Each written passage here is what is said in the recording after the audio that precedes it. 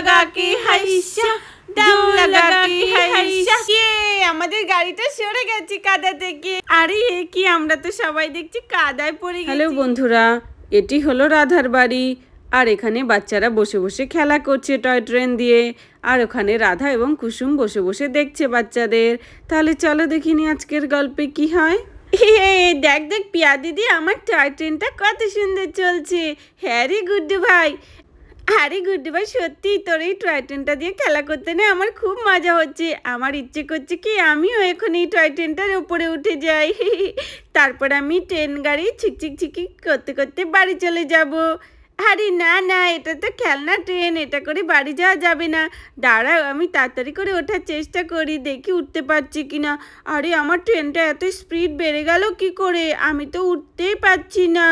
আরে আমি উঠবো। ট্রেন দাঁড়া দাঁড়া আর এখানে গুড্ডু পাগলের মতো ট্রেনটার পিছু পিছু ছুটতে থাকে ট্রেনে ওঠার জন্য। আমার ট্রেন তো আমার জন্য দাঁড়াচ্ছেই না। জানি না কোন স্টেশনে দাঁড়াবে। এ চিঙ্কি দেখ, এই টয় ট্রেনটা কত সুন্দর। সামনেই তো রোজের বার্থডে আসছে। আমরা ভাবছি কি এরকম একটা টয় ট্রেন ওকেও আমরা গিফট করব। তাহলে ওর খুব ভালো লাগবে। আরে হ্যাঁ পিয়া, খুব ভালো আইডিয়া দিয়েছিস। কিন্তু পিয়া, রোজ তো এখনও তার বার্থডেতে আমাদের ইনভাইটই করেনি। তাহলে আমরা কি করে যাব ওর জন্মদিন পার্টিতে? ও বোধহয় ভুলে গেছে। আরে হ্যাঁ রে চিঙ্কি তুই ঠিকই বলেছিস। রোজের জন্মদিনের তো আর বেশি দিন বাকি নেই। কিন্তু ও এখনও আমাদেরকে ইনভাইট করেনি। আর গুড্ডু ভাইটা যদি জানতে পারে, তাহলে তো কান্না করা শুরু করবে। দেখ দেখ, পাগলটা কত সুন্দর করে খেলা করছে। কিন্তু সত্যি আমার খুবই খারাপ লাগছে গুড্ডু ভাইয়ের জন্য। ও শুনলে খুব মন খারাপ করবে যে রোজ ওকে ওর জন্মদিনের পার্টিতে নেমন্তন্ন করেনি। কি হবে বলতো? গুড্ডু ভাই আর আমরা মিলে তো কত কিছু ভেবে রেখেছিলাম যে আমরা রোজের জন্মদিনে খুব আনন্দ করব। চল গুড্ডু ভাইকে ডাক দিই। এ গুড্ডু ভাই, শোন। আচ্ছা পিয়া দিদি আমি আসছি। ট্রেনটা বন্ধ করিনি। হ্যাঁ হ্যাঁ পিয়া দিদি, কী হয়েছে বলো? আমার খুব মজা লাগছে খেলা করতে। এ গুড্ডু ভাই, আমরা ভাবছি কি, রোজের জন্মদিনে আমরাও এরকম একটা টয় ট্রেন গিফট করব। ওয়াও সেটা তো খুব ভালো হবে। হ্যাঁ রে গুড্ডু ভাই, কিন্তু দেখ না, রোজের জন্মদিনে আর বেশি দিন বাকি নেই। কিন্তু ও আমাদের এখনও নেমন্তন্ন দেয়নি। আরে হ্যাঁ পিয়া দিদি, তুমি তো ঠিক বলেছ। রোজ তো আমাদেরকে এখনও নেমন্তন্ন করেনি। তাহলে আমরা কি করে যাব রোজের জন্মদিনে? আরে হ্যাঁ রে, সেটাই তো। মনে হয় ও ভুলে গেছে। আর নইলে ও আমাদেরকে নেমন্তন্ন করতে চায় না। না, এটা কিছুতেই হতে পারে না। রোজ আমাদেরকে নিশ্চয়ই ওর বার্থডে পার্টিতে ইনভাইট করবে। আমাদেরকে এখনও রোজ জন্মদিনে নেমন্তন্ন করেনি। এই বলে গুড্ডু কান্না শুরু করে দেয়। আরে গুড্ডু ভাই, বোকা, বস না এখানে চুপ করে। আমার মনে হয় ও ভুলে গেছে। দেখবি ওর যখনই মনে পড়বে, ও আমাদেরকে নেমন্তন্ন করার জন্য আমাদের বাড়িতে আসবে। দেখবি? তুই তো শুধু শুধুই কান্না করছিস রে বোকা। আরে দিদি বাচ্চারা খেলা করতে করতে বসে বসে আবার কি আলোচনায় বসে গেল বলতো দেখি?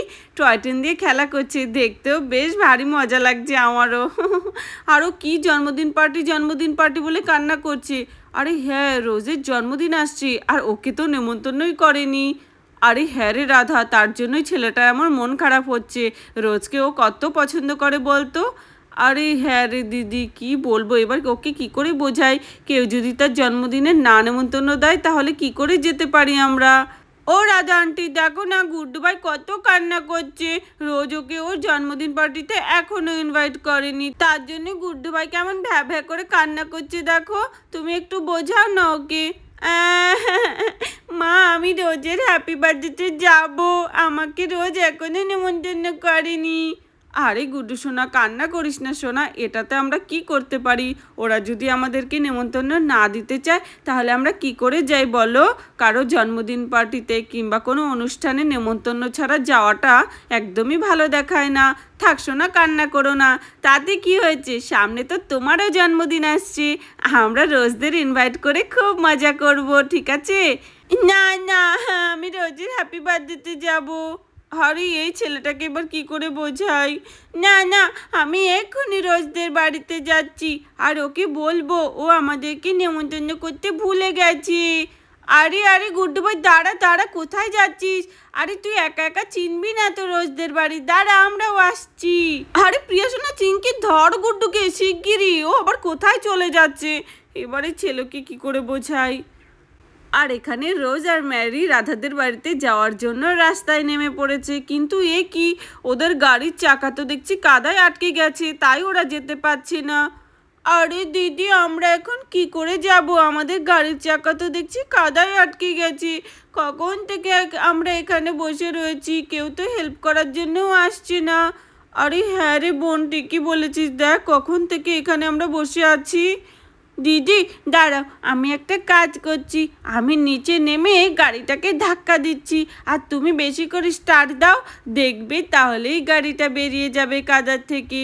আরে না রে বোন, এটা কি তোর কম্ম? বল তো, তুই ছোট বাচ্চা মেয়ে, তুই পারবি না। আরে না দিদি, মা বলেছে, চেষ্টা করলে সব কাজেই সফল হওয়া যায়। আমি একটু চেষ্টা করি।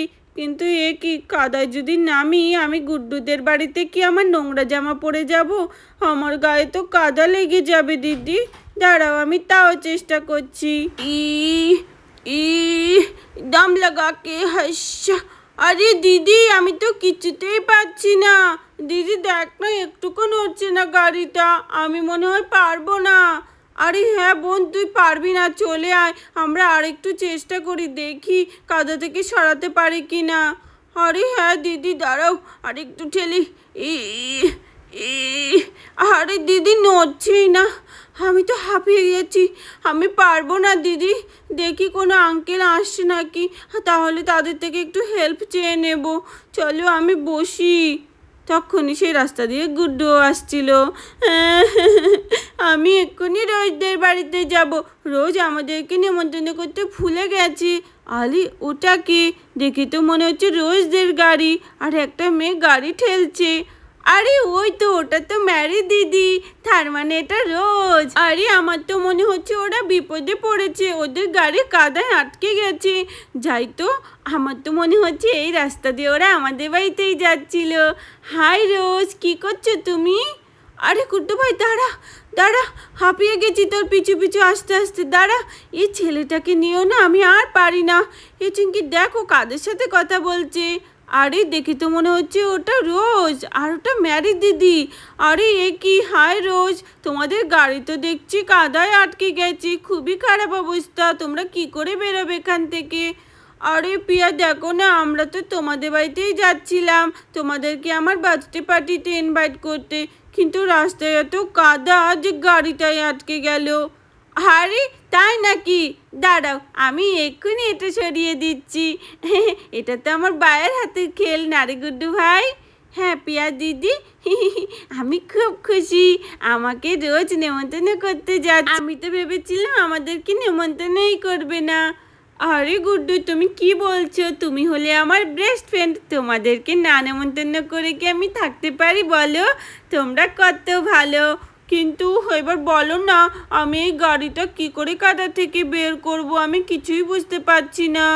এখনও আমাকে তোমাদের বাড়ি যেতে হবে, তোমার মা বাবাকেও ইনভাইট করতে হবে, কিন্তু গাড়িটাই হলো সমস্যা।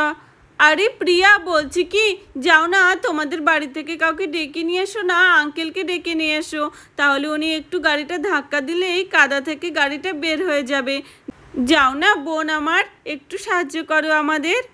আরে ম্যারি দিদি, এটাতে আঙ্কেলের কি প্রয়োজন? এটাতে তো আমরা একাই একশো এটা তো আমরাই কাদা থেকে বের করে দিতে পারব? আরে পিয়া, না রে তুই দেখ, কত বড় গাড়িটা আমরা কি করে ঠেলা দিয়ে বের করব বলতো? আমরা তো বাচ্চা। তখনই গুড্ডুর মাথায় একটি বুদ্ধি আসে। আমি যদি এখন কাদা থেকে গাড়িটা সারাতে পারি, রোজ তো খুব খুশি হয়ে যাবে। আর আমাকে নিয়ে গর্ববোধ হবে। ঠিক আছে, আমি ওকে সাহায্য করব। রোজ আমি পারব, আমি একাই পারব গাড়িটাকে কাদা থেকে ঠেলে বের করতে। এই বলে গুড্ডু কাদা নেমে যায়। ই এই কাদা কি কাদা? আরে গুড্ডু ভাই, তুই পারবি না রে একা। হাই পিয়া দিদি, তুমি শুধু দেখো আমি কি করছি। আমি পারব আমার ফ্রেন্ডসকে সাহায্য করতে। ওকে গুড্ডু, ঠিক আছে, তাহলে আমরা গাড়িতে গিয়ে বসি, তুমি ঠেলা দাও। তারপর গুড্ডু ঠেলতে থাকে গাড়িটা। ই ই কমান গুড্ডু কমান তুমি পারবে, আমি জানি তুমি পারবে কমান ই ই আর গুড্ডু জোরে জোরে ঠেলতে থাকে, কিন্তু কিছুতেই গাড়িটা বের করতে পারছিল না। আরে আরে আমি তো হাঁপিয়েই গেছি। আরে পিয়া দিদি, আমি হাঁপিয়ে গেছি। একটু তোমরা এসো, আমাকে সাহায্য করো গাড়িটাকে ঠেলতে। তাড়াতাড়ি এসো। আরে গুড্ডু ভাই হ্যাঁ হ্যাঁ আমি আসছি তোকে সাহায্য করতে। দাঁড়া। এ চিঙ্কি তুইও আয়। আমরা তিনজনা মিলে ঠেললে গাড়িটা নিশ্চয়ই বেরিয়ে যাবে কাদা থেকে। ফ্রেন্ডসদেরকে তো সাহায্য করতে হয়, তাই না? আরে হ্যাঁ হ্যাঁ পিয়া, আমি আসছি, এই তো। তারপর তিনজন বাচ্চা মিলে গাড়িটাকে ঠেলতে থাকে। দম লাগা কে হাইসা দম লাগা কে হাইসা দম লাগা কে হাইসা। এই বলতে বলতে জোরে জোরে ঠেলা দেয়। অমনি গাড়িটা ছ্যাট করে বেরিয়ে পড়ে আর বাচ্চারা সবাই কাদাতে পড়ে যায়। ইয়ে আমাদের গাড়িটা সরে গেছে কাদা থেকে কি মজা। আরে ফ্রেন্ডস তোরা ঠিক আছিস তো? তোরা তো সবাই পড়ে গেছিস। আরে এ কি, আমরা তো সবাই দেখছি কাদায় পড়ে গেছি। এ বাবা, আমি তো পুরো কাদা মেখে ভূত হয়ে গেছি। এ গুড্ডু ভাই ওট ওট দেখি তোর চেহারার কি অবস্থা। আমার তো মনে হচ্ছে গুড্ডু ভাইও ভূত হয়ে গেছে। এ পেয়া দিদি, আমি কাদা মেখে ফেলেছি। এই নিয়ে বাচ্চারা খুব হাসাহাসি করতে থাকে। চিঙ্কি দিদি, এবার তোমার পালা দেখি তো। আলি কি গুড্ডু ভাই দেখ, আমি তো চোখেই দেখতে পাচ্ছি না, পুরো কাদা মেখে ভূত হয়ে গেলাম। আরে চিঙ্কির মুখের অবস্থা দেখো, আরে, প্রিয়ার কি অবস্থা? আরে প্রিন্স তোমরা তো সবাই ভূত হয়ে গেছো। এই নিয়ে বাচ্চারা খুব হাসাহাসি করতে থাকে। তাহলে বন্ধুরা, আজকের ভিডিওটি এখানেই শেষ করছি। যদি ভালো লাগে প্লিজ একটা লাইক করো আর সাবস্ক্রাইব করে আমাদের পাশে থেকো। ধন্যবাদ।